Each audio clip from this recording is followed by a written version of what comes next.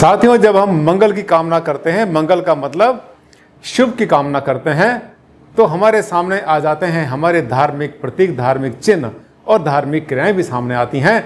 और बहुत बार आपने सुना होगा, एक मंत्र का उच्चारण किया जाता है, ओम सर्व मंगल मांगली शिवे सर्वार साधिके शरणे त्रम्ब के गौरी नारायणी नमोस्तुते। इसी तरह से और भी मंत्रों का जाप किया जाता है और जितने भी हमारे पूजा पाठ होते हैं, सनातन धर्म में खास तरीके से उसमें स्वास्थ्य का बहुत बड़ा महत्व है।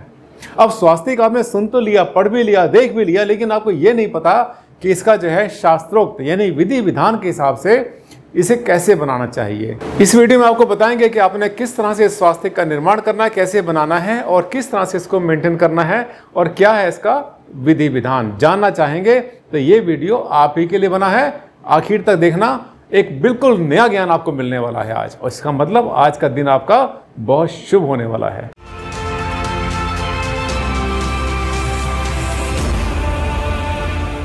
नमस्कार साथियों, मैं हूँ डॉक्टर आनंद भारद्वाज और आज लाया हूँ आपके लिए एक बहुत ज़बरदस्त टॉपिक जिसमें बताऊँगा आपको कि स्वास्थ्य कैसे बनाया जाता है? स्वास्थ्य का जिसको साथिया भी बोल दिया करते हैं, ये सिंपल साथियों, वैसे तो बहुत सारी कास्ट एंड क्रीड में पूरे वर्ल्ड में किसी न किसी रूप में इस्तेमाल होता चलाया है, क्योंकि चक्र का प्रतीक होता है ये।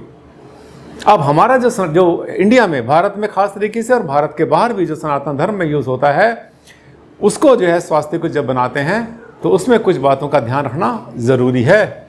इसीलिए हमने लिखा है स्वास्थ्य यानी साथिया को बनाने की बिल्कुल सही विधि, ये जान लेना, आपके बहुत काम आएगा।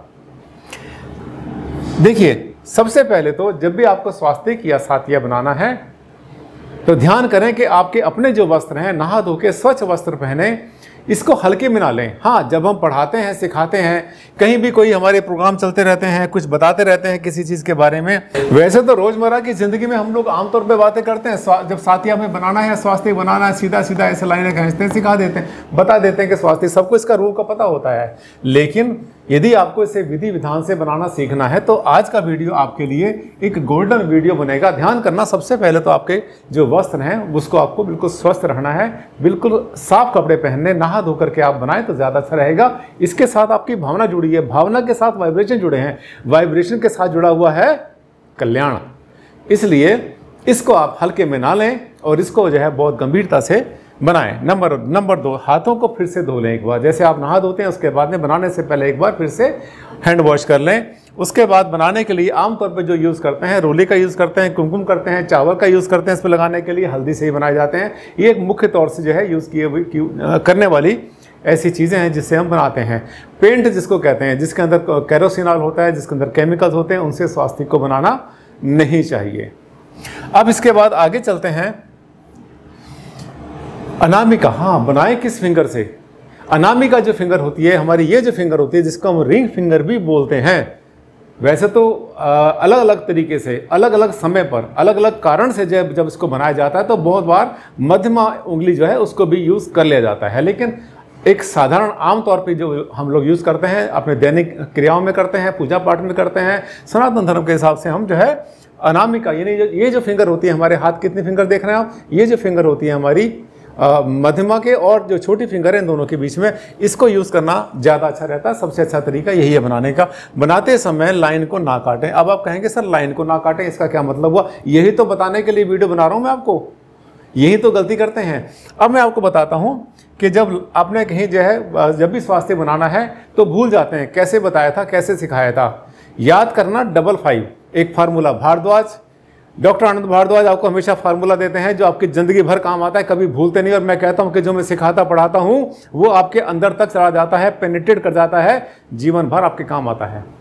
क्योंकि मैंने भी ऐसे सीखा है, मुझे सिखाने वालों ने, मेरे गुरुओं ने, मेरे पूर्वजों ने मुझे भी ऐसे सिखाया था, कभी भूलता नहीं हूँ। अब देखिए, मैं आपको बताता हूँ, एक बहुत सिंपल तरीका, कभी नहीं भूलेंगे आप। हमने बनाने हैं दो पाँच टू फाइव जो पहला फाइव बनाएँगे, जो पहला पाँच लिखेंगे हम, वो हमने इस तरह से ये हमारा पाँच हो गया। लेकिन ऊपर का डंडा हमने इसमें नहीं बनाया, ठीक? पहला पाँच लिखा, ऊपर का डंडा नहीं बनाया। जब दूसरा पाँच लिखा हमने तो इसमें हमने ऊपर का डंडा तो बना दिया, लेकिन नीचे का डंडा नहीं बनाया। देखिए, ये भी फाइव है, वो भी फाइव है, इसमें याद ये जो हमने आपको बताया फार्म जो पाँच लिखने का फार्मूला, ये आपको कहीं नेट पर मिलेगा नहीं, किसी ने बताया भी नहीं है। पर आप ना भूलें, जैसे मैंने याद किया, मैं वही आपको तरीका बता रहा हूँ, क्योंकि जब मुझे याद रहा जीवन भर हम पीढ़ी दर पीढ़ी से लाइन में आपको, मैंने बताया था कि मैं शायद वास्तव में अपनी छठी जनरेशन हूँ मैं, सिक्स जनरेशन हूँ वास्तु में शायद, आपको हार्डली कोई मिलेगा ऐसा। और आज वास्तु करते करते मुझे वास्तु में अड़तालीस, उनचास साल हो गए हैं, जीवन निकल गया पूरा। अब देखिए, इसमें हमें डॉट लगाना है one two three four five ठीक? सीरियस हमने कैसे लगाया? हमने इस तरह से बनाया। डॉट लगाया। इसके बाद अभी भी जो स्वास्तिक है पूजा पाठ के लिए धर्म कर्म के लिए किसी भी आ, अच्छे काम के लिए या किसी भी अनुष्ठान के लिए अभी संपूर्ण नहीं है पूरी तरह से इसके साथ साथ आपको रिद्धि सिद्धि भी आपको बनानी चाहिए। इस तरह से लाइन इसके साथ खींचते हैं तब ये रिद्धि और सिद्धि बन जाती है। अब ये संपूर्ण अपने आप में पूरी तरह से स्वास्तिक बना। अब इसके बाद आगे चलेंगे। मैंने आपको बताया लोग कैसे बनाते हैं? बनाने में ऐसी कोई बुराई नहीं होती कोई इतनी ज़्यादा देखिए सीधा ऐसे बना देते हैं फटाफट बन जाता है इसमें कोई दिक्कत नहीं होती है। पर ऐसा नहीं है कि अगर ऐसे बनाएँगे आप तो आपका कोई साथ साथ कोई कल्या, कोई कल्याण नहीं होगा कोई बुरा होने वाला है। ऊपर वाला सब कुछ देखता है अगर आप श्रद्धा से कुछ भी कर रहे हैं तो वो सब कुछ ठीक होता है। इसमें बहुत ज़्यादा कॉम्प्लिकेसी बहुत ज़्यादा इसके अंदर जो है जटिलता नहीं पैदा करनी चाहिए हमें। किसी भी कार्य को करने के लिए। आगे चलते हैं इसके बाद में हम। इसके नीचे आप लिख सकते हैं, आराम से शुभ लाभ भी लिख सकते हैं इसके साथ में। शुभ हो गया, लाभ हो गया इधर। ये लिख सकते हैं आप, जैसे आपको लगता है, आप कुछ भी अपने वो करें। इसके बाद एक बार ध्यान करेंगे आप। अब ये अनुष्ठान हो गया, पूजा पाठ हो गया, आपने जो भी किया था वो सब कुछ कर लिया। करने के बाद अब इसको जो है आपने हटाना कैसे? स्वास्तिक बन गया। अब क्या करेंगे? ऐसे कहीं फेंक देंगे उठा के या कहीं इसको सीधा पानी मार देंगे इसके ऊपर? कुछ भी करेंगे? नहीं, ऐसा नहीं करना। पहले आपने क्या करना? अनुष्ठान के बाद हटाने के लिए ये बनाते कहाँ पर है? आमतौर पर थाली बनाया जाता है, पटरी पर बनाया जाता है, लकड़ी पर बनाया जाता है, अपने द्वार पर बनाते हैं। बहुत बार भूमि के ऊपर भी वो जब हम हवन करते हैं तो उस समय पर भी वहाँ पर भी इसको अंकित किया जाता है। इसको हटाने के लिए सबसे पहले दुर्वा यानी धूप घास होती है, वो थोड़ा सा, या कोई भी आपको अगर मिल जाती है ऐसी, कोई भी शुद्ध चीज़ मिल जाती है तो किसी भी वनस्पति से थोड़ा सा पहले उसको हटा दें। हटाने के बाद उसको स्वच्छ जल से आप धोएँगे तो ये इसका निस्तारण हो जाता है। साथियों, मुझे लगता है आपको मैंने छोटे से वीडियो में आज वो बात बता दी जो ज़िंदगी भर याद रखोगे। अपने बच्चों को समझा देना कि डबल फाइव का फार्मूला इस स्वास्थ्य को बनाने के लिए प्रयोग करना चाहिए। कभी नहीं भूलेंगे जीवन में आप। ऐसी होती मेरे वीडियो। अच्छा लगा ना? कैसा लगा मेरा वीडियो? अच्छा लगा। और मुझे ऐसा लगता है कि बहुत बार जब आपको कोई नई बात बताता हूँ और बहुत अच्छी दिल की बात बताता हूँ तो दूर बैठे बैठे आप लोग क्लैपिंग करते हैं कि भारद्वाज जी, मज़ा आ गया, बोलते हैं आप, और वो आवाज़ मुझ तक पहुँच जाती है, मेरे अंदर तक मुझे पता चल जाता है कि मेरे चाहने वाले बहुत प्रसन्न हुए। ऐसी होती है हर वीडियो।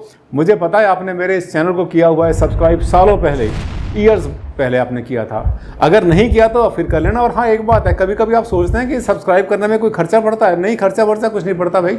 आपका फ़ायदा, उसमें आपका फ़ायदा क्या होता है? अगर आपने मेरे चैनल को सब्सक्राइब कर लिया, आसान तरीका, एक सेकंड एक मिनट लगता है हार्डली एक मिनट भी नहीं लगता, कुछ सेकंड में हो जाता है और एक बार करने के बाद उससे आपको क्या लाभ मिलता है कि जब भी मेरा नया वीडियो आता है, सबसे पहले आपको सूचना मिल जाती है कि ये वीडियो आ गया, आपके पास एकदम से पॉपअप कर जाता है और आप वो वीडियो जो मैंने डाला है नया, वो देख लेते हैं। साथियों, ज्ञान में सबसे आगे जो चलता है, झंडा लेकर वही जीत जाया करता है।